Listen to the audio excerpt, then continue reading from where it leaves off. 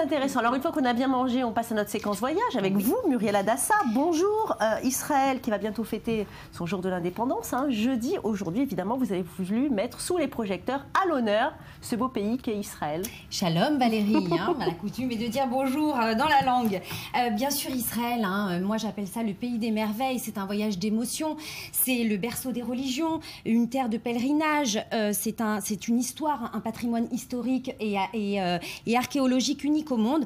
Bref, c'est une destination de rêve. D'ailleurs, on peut visiter Israël pour différentes raisons. Oui, vous avez par exemple euh, Tel Aviv, hein, comme on dit Tel Aviv, qui a Habibi Tel Aviv, la vie qui ne dort jamais euh, pour les fêtes, les bars. Vous avez Jérusalem pour l'histoire, le pèlerinage. Et vous avez aussi la mer morte pour le bien-être et éventuellement Elat pour la plongée. Alors je ne vais pas vous parler de tout ça aujourd'hui parce que je vous apprendrai peut-être pas grand-chose de nouveau aujourd'hui. Donc on va parler d'endroits un peu plus euh, différents. Justement, pour l'indépendance d'Israël, si on veut revivre ce moment, où faut-il aller? Exactement. Donc il faut se rendre au hall de l'indépendance euh, à Rothschild, en fait, au boulevard Rothschild, pardon, à Tel Aviv. En fait, il s'agit de la maison de euh, Meyer Dizengoff, qui est en fait le fondateur et le premier maire de Tel Aviv, qui fit don en fait à la municipalité de cette maison en 1930 à la mort de sa femme. Mais c'est surtout connu pour être le lieu de naissance euh, de, de l'État d'Israël, puisque c'est en effet dans cette maison que David Ben Gurion euh, prononça le 14 mai 1948 Absolument. ce fameux discours proclamant la création de l'État d'Israël. Alors, on va quitter Tel Aviv, on va aller plus loin.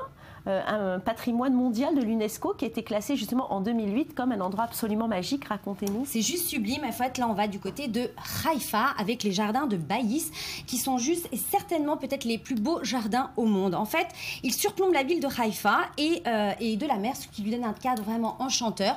Vous avez différentes plantes et, euh, et fleurs en fait qui sont disposées d'une façon exemplaire. Un véritable plaisir des yeux. C'est c'est absolument à visiter. Après ce magnifique trésor végétal, vous allez nous parler de grottes et de mer. Exactement. Et là, il s'agit du parc national côtier euh, de Roche Anikra. Alors, mis à part la superbe vue que vous allez pouvoir admirer euh, sur le littoral en prenant un téléphérique, pardon, eh bien, l'attraction principale, bien évidemment, ce sont ces grottes de Roche Anikra. Et leur particularité, eh bien, elles ont euh, été creusées par les vagues et les eaux de pluie dans les falaises calcaires, formant un paysage juste un- un- incroyable à voir. C'est c'est une aventure exclusive à faire. Autre chose à ne pas rater, c'est le site d'eau thermale hein, au milieu de ruines romaines. Exactement, puisque les Romains étaient friands euh, de confort, ils les avaient aménagés à l'époque des thermes. Il s'agit de Hamad Gader, près du lac de Tibériade. En fait, vous avez des eaux à 48 degrés, donc très très bon pour la santé, euh, et effectivement qui ont été euh, euh, situés sur ce site archéologique. Vous allez pouvoir aussi visiter ces bains romains, hein, les vestiges des, Romains originaux,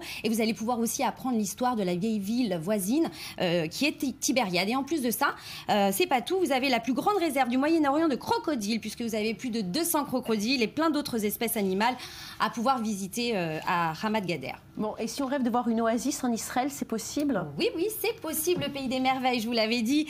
Euh, et là, il faut partir à Chané, ou bien encore on appelle ça le Gan Ashlosha, qui est un parc national à côté de la ville de Beth She'en. Et là, c'est juste magique. Vous avez euh, des piscines, en fait, qui sont toute l'année, peu importe la température extérieure, à 28 degrés. Tout simplement parce que la faille, elles sont situées sur une faille sio-africaine, euh, et vous avez une teneur en minéraux, ce qui fait que c'est importante, ce qui fait que la température est assez élevée. Et c'est juste divin, ça se transforme, ces piscines se transforment en rivière.